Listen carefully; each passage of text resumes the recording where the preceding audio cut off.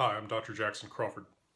I'm a specialist in the Old Norse language, currently finishing up two years of teaching at UC Berkeley before returning to the Rocky Mountains to teach at the University of Colorado Boulder in this fall. I'm back with another video about a topic in Norse language and myth, and today what I want to do is the uh, much requested how-to guide to Old Norse poetry. This is not only for if you want to compose poetry in an Old Norse style yourself, whether Eddic or Skaldic, but also for those who just want to learn to appreciate Old Norse poetry a little bit better. I find that one of the best ways to learn how to appreciate something is to learn how to do it yourself in the first place. So let's take a look at some of the broad concepts that are applicable to all or most forms of Old Norse poetry before we look at a few specific Eddic and Skaldic styles. For one thing, we have to remember that all Old Norse poetry uh, is very loath to use end rhyme. So something that we associate with rhymes and songs today uh, very strongly, the end rhyme of something like roses are red, violets are blue, inside I'm dead, and so are you, is almost un, unseen in Old Norse. Instead, alliteration, the use of stress syllables that start with the same sound, is what characterizes almost all Old Norse poetry. Now, let me show you a few examples of the kind of alliteration I mean.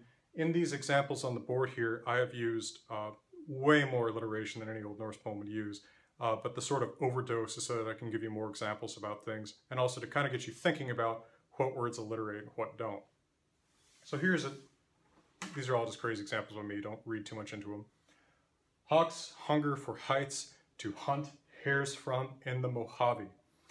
Notice that this word Mojave has that sound H in English, uh, but it is spelled with a J, so we have to be careful in English especially that uh, words may sound the same, but they may spell the sound differently. So of course, this still alliterates. It also still alliterates even though this isn't the first uh, sound of the word. So this is a stressed syllable, and, and it's the second syllable, but this still counts as alliteration with the H's on the stressed initial syllables in these other words. Hawks, hunger, heights, hunt, hares, hav. Also, note that although in Old Norse this is actually in a sense easier because the stressed syllable is always the first syllable of the word in Old Norse, bar none. Uh, in English, you can still usually tell which one is stressed by just kind of playing around with the word and trying stressing it in different places. You say Mojave or Mojave. No, you say Mojave, so the second syllable is the stressed one. Similarly, we have this example. Caliber is a comment on the circumference of the crater, not the competence of the cowboy. It's for all the 1911 guys out there. So here we see again, the stress syllable is the uh, first one of most of these words, but in circumference, the second syllable is the stress syllable. And so since it starts with that k sound, uh, that can alliterate with these other ones, cow, calm, crate, calm, cow. Uh, also, of course, we could alliterate something that started with a K here, even though it's spelled differently because the sound is the same. Old Norse does specify one thing, which is that if an S is followed by a T or a K, it can only alliterate with other words that also have the ST or the SK in it. So a word like staff doesn't alliterate with a word like circus or like uh, save, but it does alliterate with stick and style. A word like school doesn't alliterate with sore or sake, but it does alliterate with scornful and skalds. Again, notice the spelling is different for these three words, S-C-H, S-C, S-K, but they alliterate because the sound is the same in English. Also, Old Norse has a convention that all vowels alliterate with other vowels. So any word that starts with the vowel, owl, evening, earnest, ice, whatever, these all alliterate. And anything that starts with a y sound, of course spelled with a y in English, but with a j in Old Norse, like Jotunheimr, that alliterates with vowels too. So owls yearn for evening, owls yearn and eve all alliterate with one another. Also keep in mind that what I'm showing as alliterating is always a stressed syllable. Like I said, you cannot alliterate on unstressed syllables, so don't try it. King commanding crows. King and crows alliterate. but you cannot use the C in commanding to alliterate with these two words because it's not on a stressed syllable. The stressed syllable is an M. So watch out and don't use unstressed words to alliterate. So words like prepositions of, from, in, on, by, with, those won't be used in alliteration and neither will uh, words and suffixes like ing, er, uh, etc. in English. All right. Now, the two main schools of Old Norse poetry are called Eddic and Skaldic. Skaldic is named for the Old Norse word skald, which just means poet. Both styles do have in common the use of alliteration, and they have in common that they are stanzaic. Now, Old Norse poetry is closely related to the poetry of other Old Germanic languages like Old English or Old High German. But if you read an Old English poem, a long poem like Beowulf, you'll notice that it's printed as one long body of text on the page, whereas Old Norse poetry is printed in stanzas, usually of six to eight lines.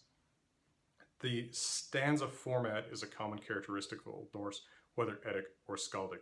Now those stanzas may be strung together into a very long poem, like Havamal, for instance, is strung together out of 164, I think, stanzas uh, that are all back to back. But the uh, basic stanzaic structure is there, and the stanza is itself a sort of self-contained unit. There should be one complete thought in the stanza, if not even in the half stanza. So we're not going to have sentences that continue from stanza to stanza. All right, I'm going to be using examples when I talk about these different styles of poetry that are in Old Norse and in English. When I use Old Norse examples, keep in mind, as I'm always reminding people in my videos, that the pronunciation that I use is Old Norse reconstructed pronunciation, not modern Icelandic pronunciation. Mostly Old Norse is taught with modern Icelandic pronunciation, but I use reconstructed pronunciation because I think it's more authentic and it's very well established. If you want more information about this, I've linked a video in a card in the top right, and there's other videos on my channel about, for example, modern Icelandic pronunciation and how we know what dead languages sound like in the first place. All right, with that out of the way, let's take a look at Eddic poetry. All right, the first Eddic meter that I want to look at is Fornyrðislag. This literally means ancient words meter. And this is the meter that we most often see for narrative poems in the Poetic Edda, like Völuspá and similar narrative poems. We see a stanza of eight lines, and keep in mind that some translators and editors will print this as four lines. So with this is one line, this is one line, this is one line, and this is one line. Fornyrðislag is essentially the same meter as in an Old English poem like Beowulf, of course arranged in stanzas because this is Old Norse. Uh, and in Old English is sort of a convention of printing uh, each line as half of a line. So these are half lines from an Old English perspective. And there are translators who will print it that way. Uh, I follow the Scandinavian convention of treating each half line as a line. It's just a matter of style.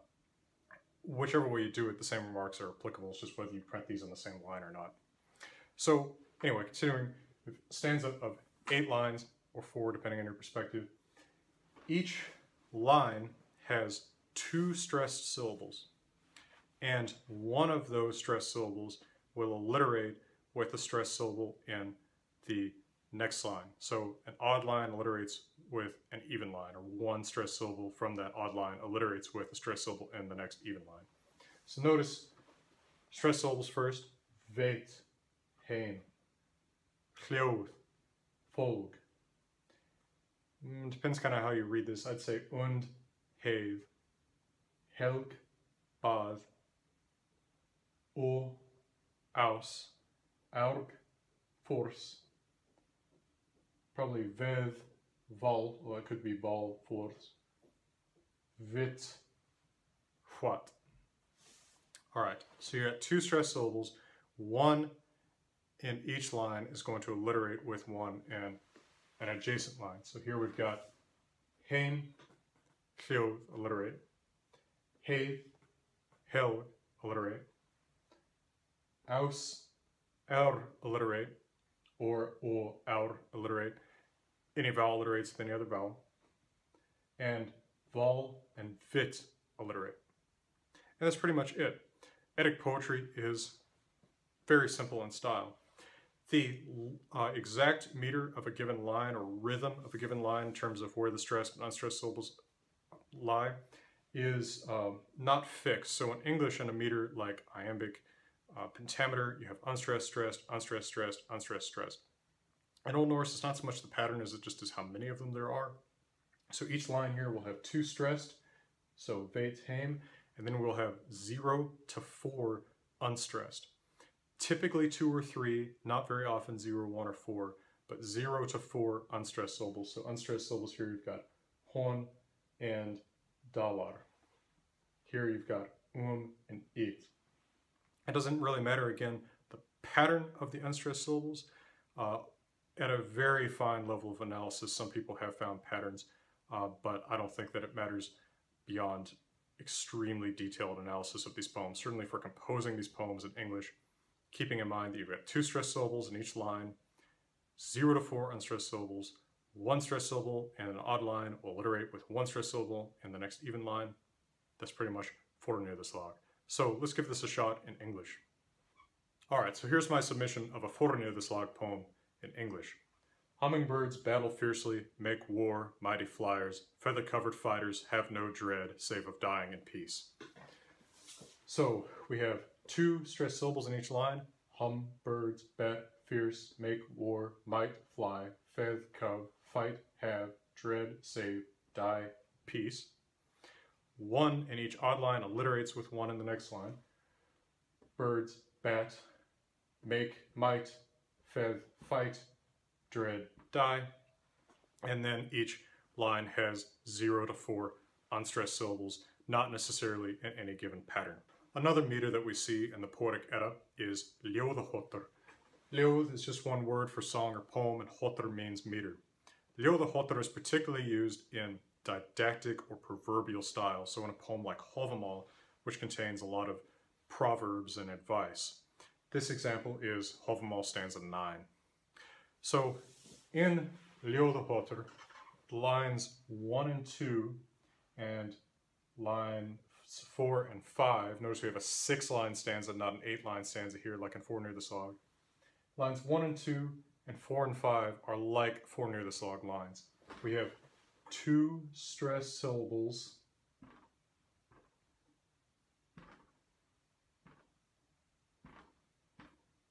and one stressed syllable in each line alliterates with one in the next line. So sal, sjolver, tvi, theg. The uh, notice that in this first line we actually have both stressed syllables in the first line alliterating with something in the second line. That's fine, but it's optional. So, uh, and it's rarely in the even lines that you'll see those two alliterating uh, syllables. Typically that'll only be in odd lines. All right, so lines one and two and four and five look like fornyrðislag, but lines three and six are different. Line three that follows one and two does not alliterate with one and two. It, it could, but it doesn't have to. Instead, it is a line with three stressed syllables, not two, and two of those alliterate with each other in that line. So here we have lov, vit, live stressed syllables, and two of them alliterate with each other, lov and live.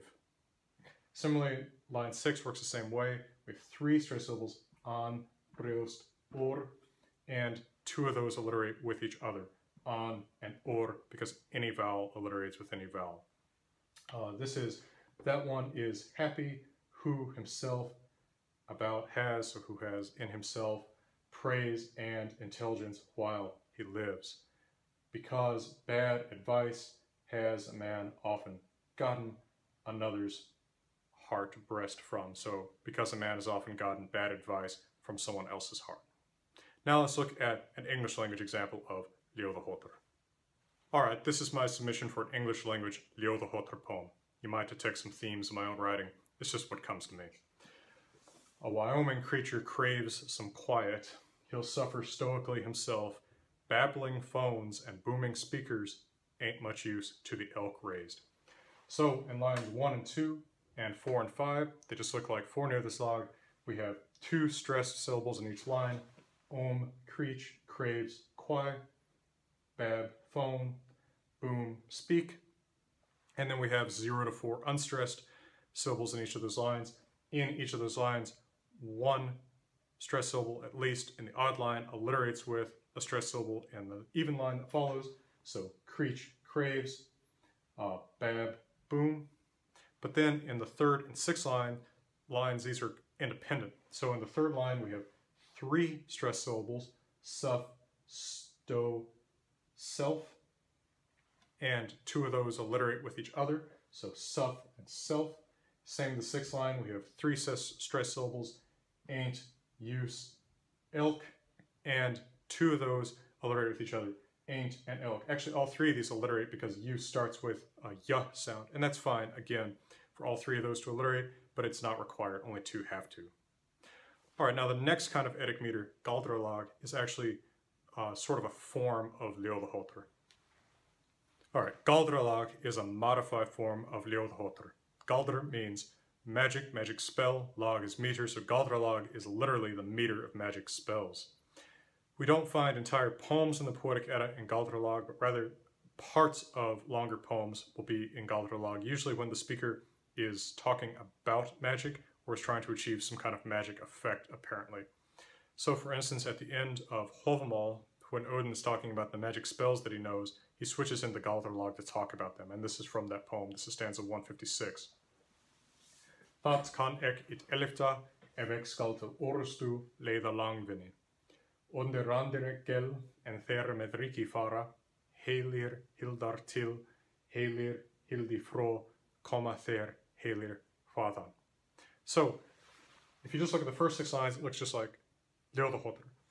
Lines one and two each contain two stress syllables, and then one stress syllable in the odd line alliterates with the stress syllable in the following even line. So probably kan il are emphasized, probably skal or are emphasized, and L or alliterate because any vowel alliterates with any other vowel. And then you have line three, which uh, doesn't alliterate with the preceding lines, but has two stressed syllables that alliterate with each other, lathe and long. This probably has three stressed syllables, lathe, long, and vin.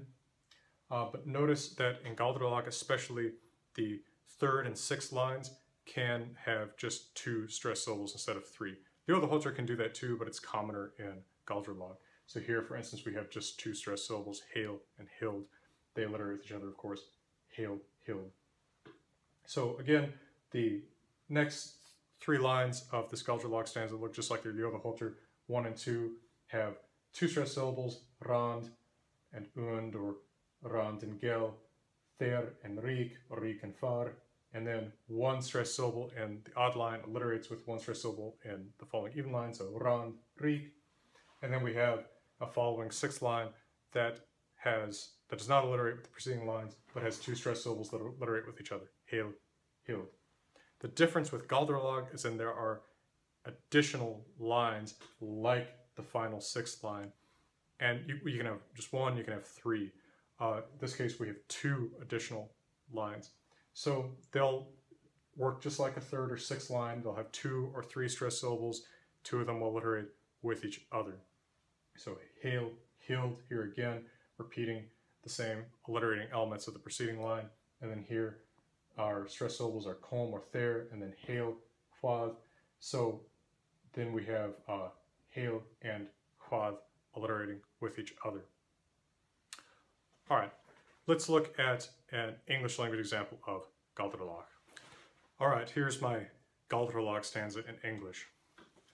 A holstered six gun and a hitch in my step and a story that'll stun you.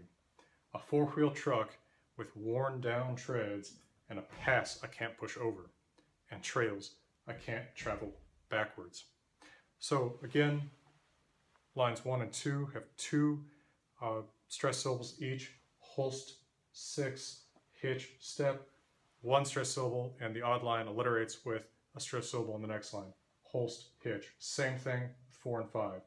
We have two stress syllables, four, truck, worn, treads, one stress syllable, and the odd line alliterates with a stress syllable in the next line. So truck, treads.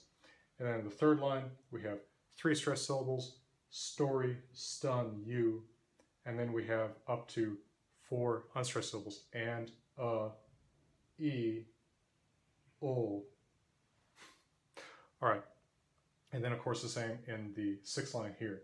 Uh, three stressed syllables, pass, can't, push, and then up to four unstressed syllables, and, uh, I, and then over. And of course we have two stressed syllables in the third and sixth line that alliterate with each other. So story, stun, pass, push. But notice here that I've actually got an additional unstressed syllable because over takes up two of five here. In Old Norse, you can usually make two short syllables in succession count as one syllable. Now this is something that we don't really have in English, short versus long syllable. A short syllable in Old Norse has just a short vowel, so a vowel that's not long or diphthong, followed by no more than one consonant. So a word like fara has two short syllables. Since there's no real distinction made in English speech between short and long syllables, uh, the sort of equivalent that I use in writing in English with this is just to say that uh, a word that's very low stress, like an adverb or preposition like over, if it's two syllables, can just count as one. That's just sort of my English equivalent to this. And then I've done the same thing in this line, which makes it Galdralag by repeating the style of line six. And trails, I can't travel backwards. I've got three stress syllables, trail, can't, trav. Two of those alliterate with each other, trails and trav. And then I've got five unstressed syllables, but I'm counting two of them that are next to each other as are two syllables and a weakly stressed word is one. So and, I, ol, and then I'm counting these two uh, and backwards as one unstressed syllable, even though it's just one weakly stressed word with two syllables. All right, let's take a look at skaldic poetry and its much stricter demands. Now, Eddic poetry is the kind of poetry we find in the narrative and didactic poems of the Poetic Edda. Skaldic poetry was actually much more to the taste of the kings and nobles of the Viking Age. While Eddic poetry often tells a story or might provide advice, Skaldic poetry is almost always occasional. It's based on some occasion. Often we're praising a king, praising a noble, praising some hero, talking about a battle that just happened, maybe talking about a gift that's just been received, it's usually sort of more a commentary on something that's happening right now. It's also a lot more complicated. There are many different meters. Uh, for instance, Snorri Sturluson explores 102 meters, I think, in Háttatal in the Prose Edda. But uh, the most prestigious meter is called Dróttkvætt, the kingly meter, the meter for a court. So I'm going to show you how Dróttkvætt is done, and you'll see this is vastly more intricate than the Eddic poems. So we have again an eight line stanza like fornyrðislag, but instead of having uh, two stressed syllables and then zero to four unstressed, we have a strict count of six syllables per line. It can be seven if again you have two short syllables uh, in a row that can count as one, but basically six is the rule. Each line has to end in a trochee, so what I mean is a stressed syllable then an unstressed, usually part of the same word. Old Norse is largely a trochaic language. Most words are trochees. English not so much, but a lot of words are trochees. Viking is a trochee. Water is a trochee. Travel is a trochee. Uh, words that are not trochees include engage because the second syllable is stressed. So we have to end with stress syllable, unstressed. And that last stressed syllable, the second to last syllable, is critical to constructing the entire skaldic poem. All right, in each odd line, two stressed syllables alliterate with the first syllables of the next even line. So each even line must start with a stressed syllable that alliterates with two syllables that are stressed in the preceding odd line. And then that second to last syllable really comes into play. In an odd line, the second to last syllable has to end in the same consonants as another stressed syllable in the same line. So if the second to last syllable is say fight, it has to have another stressed syllable and a line that ends in T, right? Mate or oat or whatever in an even line, that second to last syllable has to actually totally rhyme with another stress syllable in the line. So in an even line, if our second to last syllable is fight, then another syllable in the line has to be bite or right. All right, so as you can see, this kind of strict requirement is not exactly conducive to using natural normal language, right? It's very difficult to just decide, I'm going to speak in Aldrotkvat because it's really tough to find words that alliterate and rhyme uh, with this kind of frequency and especially fit them into just six syllables in a line. So, for instance, what if I want to talk about Thor, but all that I'm left, you know, I'm constructing this poem in my head or, or on a piece of paper today, and all that I've got left are a couple syllables and I need something to alliterate with an H. Well, Old Norse poetry has a solution for you in the form of heiti and kennings. So before we can look at an example of a skaldic stanza, we need to understand heiti and kennings well. So in order to get the alliteration and rhyme that we need, we need to be able to call things by different names, especially gods, kings, uh, prominent natural phenomena like the ocean, the moon, uh, uh, the sky, etc., have heiti in Old Norse. So these are elusive alternative names. So for instance, Thor, if we need to alliterate with something that starts with an H, or if we need to rhyme with something that ends in or, we can call him Hloridi. This is one of his alternative names. Most of the gods have several of these that allow poets in the Norse language to alliterate and rhyme with different things. Um, its exact meaning is a little unclear. It could mean something like uh, the the loud uh, weather maker. Uh, this is like roar. This could be related to a word for storm. Uh, sometimes these heiti just take the form of sort of optional name extensions. So Thor might be called Thor if we need to alliterate with something with a V, or if we need to rhyme or end with the same consonants as ng. Uh, this is probably related to an old word for fighting, so like fighting Thor. Odin has tons of heiti. He has a, a, huge number of names that he takes in different stories, uh, which he uh, lists at the end of Grimnismal and famously also in American Gods. Some of these names include Bolverker, which is evildoer, literally. Uh, Grimnir, which implies ha having a mask, is the one who goes in a mask or who goes with a shadowed face, a cloak. Uh, which is probably something like the, the one who makes angry, the angerer. Gauter doesn't necessarily have a clear meaning, but it seems to be from the same root as the name of the people known as the Goths. Uh, Odin has a ton of these, but there are also heiti for natural phenomena like the night can be called grima, uh, mask. This is just sort of a, a, convention of skaldic poetry. A horse can be called by any sort of uh, color that is applied to horses. So in English we might say, you know, a palomino, a buckskin, a roan. But in this case, in a skaldic poem where I'm using that to mean horse, I don't necessarily mean that the horse in question is that color. I might be talking about a bay horse, but if I need to alliterate with R, I might call it a roan, just because I'm, I'm alluding to the fact that it's a horse and this is a color that's used in talking about horses. We don't do this too much in English. Probably the closest thing to a heiti in English is something like how uh, most English speakers know that the Big Apple means New York. There's not really anything about the words Big Apple that tell you it's New York. It's just sort of an agreed upon convention that that's an alternative name for the place. All right, so those are heiti. Now let's look at one level more of wordplay, the kenning. So a kenning is a compact metaphor, and typically it takes the form of either a compound word, so the x, y, or of a possessive phrase, the x of y, or the x is y.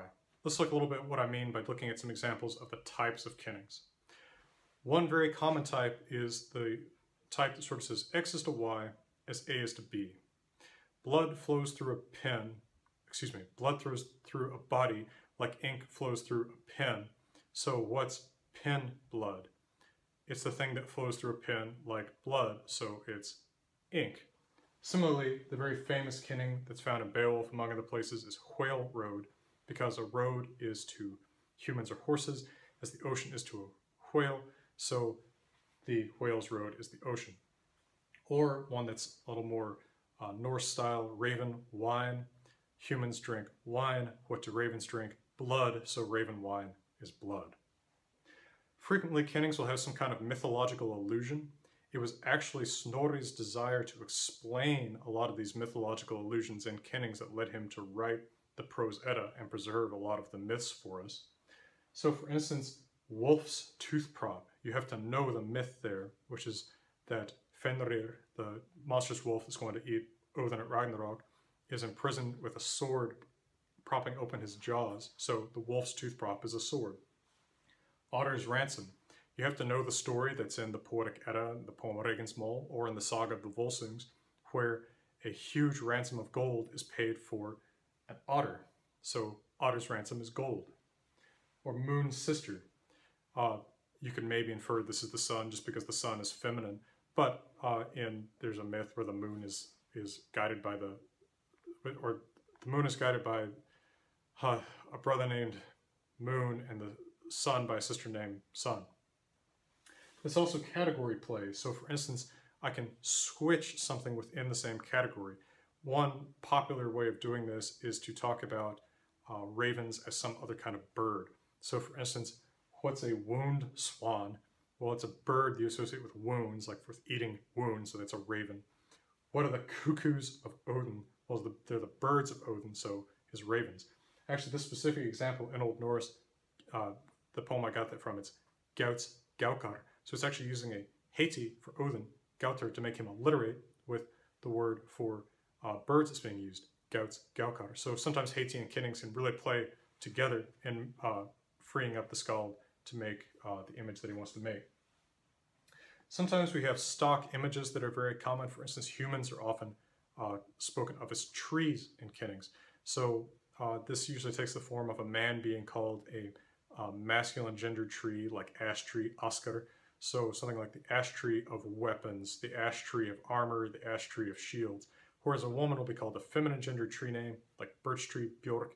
So she'll be called like the birch tree of jewelry, the birch tree of uh, spinning, something like that. So you use a tree of the appropriate grammatical gender and associate that with an activity or item associated with that particular sex.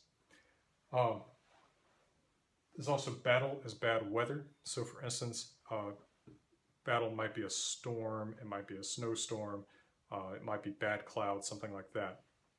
Axes are often uh, portrayed as monsters. So an axe might be the troll woman of the storm, right? So the monster of the battle. So it's an axe. Uh, a sword is often compared to a, uh, a, snake or a jewel. This could also be sort of uh, analogy of shape. Uh, that's another thing, analogy of or shapes. The swords portrayed as snakes because those are long and maybe they bite. Uh, they're associated with jewels because they're bright. So the jewel of the snowstorm might be a storm because snowstorm is battle. What's its jewel? The sword. Uh, also leeks, that is onions with long stems. So also an, another long item. So kennings can get really, really uh, dense uh, it's not uncommon for a kenning to contain another kenning. So for instance, we might talk about, just to make something up out of the examples that I just mentioned, we might talk about the cuckoos of the uh, storm of the troll woman. So what's the troll woman? The axe. What's its storm battle? Who are the birds, cuckoos of battle, ravens? Uh, these can even go six or seven layers deep. But these kennings are necessary in order to fit a poem into the strict demands of dróttkvætt and other skaldic meters. So let's take a look at an example of a real dróttkvætt poem. All right, now let's look at a real stanza of dróttkvætt. This is a stanza from the famous Njáls saga. Uh, this is attributed to Kári Sölmundarson. And in this poem, which is a lausavísa, just a single stanza rather than part of a long skaldic composition, uh, Kári is remembering his friend Njáll, who was burned to death, and he is complaining about how he can't sleep because he keeps thinking about this. All right, bear with me. Old, for one thing, Old Norse word order is uh, very free in the first place, but because of the demands of skaldic poetry, we can move words all around uh, to get to get them at the right place to alliterate or rhyme with the things we need them to alliterate or rhyme with. Usually, we won't move them between halves of the stanza. So for instance, if you have a kenning in the first part of this first half of the stanza. Its other part isn't going to be in the second half of the stanza, but it may have parts that are three lines apart, uh, just in that same half of the stanza. So first of all, let's look at the uh, technical details. So each line, and there are eight lines, each line has six syllables. Kumr at ulr of Allah. One, two, three, four, five, six. Notice that an R or an N or an L that uh, we usually read as a second syllable in English that comes after a consonant, like here. uh, in a third person singular verb or in a uh, masculine name in the nominative, that is not counted as a separate syllable. So this is one syllable, kumr, ulr, for purposes of poetry. Alm, sima, mer, grima, one, two, three, four, five, six. Bed, hlidar, monk, bethi, one, two, three, four, five, six. Bauga, sveben, o augu, one, two, three, four, five, six. Again, counting this in as just part of this syllable. Sits brand vidir brendu, one, two, three, four, five, six. Bold var naus o hausti, one, two, three, four, five, six. Ek em at minu mani, one, two, three, four, five, six, seven. This is one of those cases where two short syllables, syllables that don't have a long vowel or diphthong and that end in no more than one consonant, can combine to count as just one syllable. So here we can count either, it's either ek m that's being counted as one syllable or m a that's being counted as one syllable. And then minigr niyal ini. One, two, three, four, five, six. Again, not counting that R as a separate syllable. And notice that we need an older form of the name Njáll in order for this to be six syllables according to Norse poetry, which sometimes can actually help date poems based on the forms of names that we have to assume, uh, names and other words we have to assume in order to make the poetry work right. Okay. Now, each even line is going to start with a stressed syllable that alliterates with two stressed syllables and the preceding odd line. Alm, uller, all, right? Any vowel alliterates in the other vowel. Baug, beth, bathe. Bod, brand, brand. And min, mean, main. Okay, now the second to last syllable of each line is significant. In the odd lines, that second to last syllable is going to end with the same consonants as another stressed syllable elsewhere in that line. All, ul. Bathe, cleave. Brend, brand. And main, mean. Whereas in even lines, that second to last syllable is going to fully rhyme with another stressed syllable in that same line. Grim, seam. Aug, baug, haust, naust. Usually an S at the end of a syllable isn't counted as part of it for rhyme and uh, for consonant rhyme. In, min. And there you have a skaldic poem. But what has Kári, our poet and hero, had to do to make this such a beautiful, well-functioning skaldic poem? Well, he has had to use a lot of kennings and heiti uh, in order to get all these rhymes and alliterations to work. And he's had to mess with the word order a lot, so bear with me here.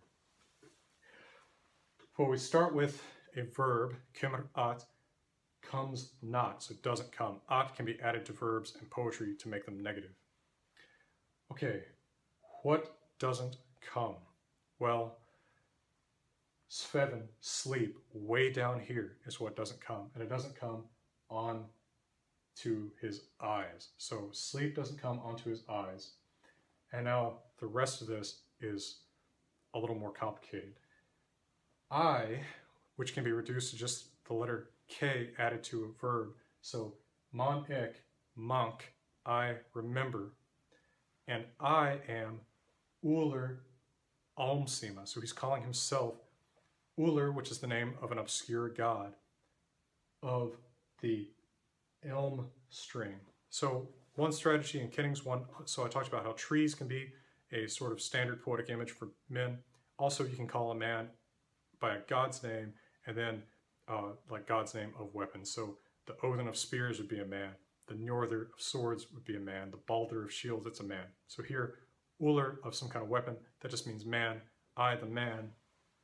Uh, and then in this case, of course, all this means elm tree and simi is string. So what's the string of an elm tree, string of a tree, that would be, of course, a bow. So the god of a bow, I, the man. Remember the Bevi Bethlivar Bauga, the demander of the bedside of rings. So what's the bedside of rings? Well, that's a shield, because a shield might have circular uh, decorations embedded in it. So it's the bedside of rings, and then the demander of a bedside of rings, the demander of something weapon related, that's a man. And then we also have a heiti for night. Night can be called uh, grima. Actually, I've written this a little bit wrong. I wrote that in the nominative rather than the accusative. So that's just night, and this Allah actually goes with Karimu night. So, altogether, sleep doesn't come on eyes of me. Here's mare, like to me of body parts, uh, way up here. All masked, which is night. Night is the masked thing, it's just a heiti for night.